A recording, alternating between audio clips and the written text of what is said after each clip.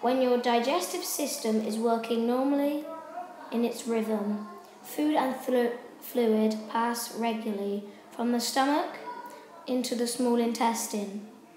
Food is then broken down and the nutrients absorbed along with most of the fluid.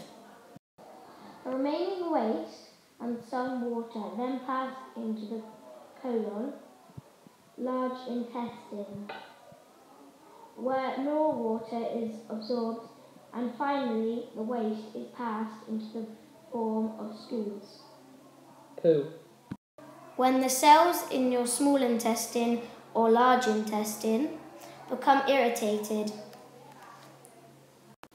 the relaxed and regular movement of your intestines can be overreactive.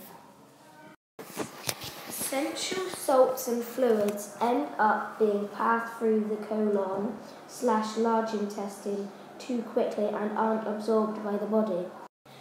The symptoms of diarrhea are frequent loos, watery stools, abdominal cramps, abdominal pain, fever, bleeding, and lightheadedness.